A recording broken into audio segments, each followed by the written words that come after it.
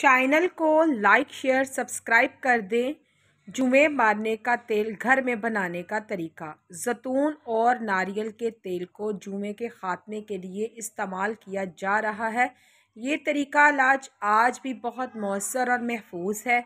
लिहाजा अगर आप इसका शिकार हैं तो हर चार रोज़ के बाद नारियल और जैतून के तेल से सर की अच्छी तरह मालिश करें। जुमें खुद ब खुद ख़त्म हो जाएँगी। उम्मीद करती हूँ कि आज की ये छोटी सी वीडियो आपको पसंद आएगी। अगर पसंद आएगी तो चैनल को लाइक, शेयर, सब्सक्राइब ज़रूर कर दें।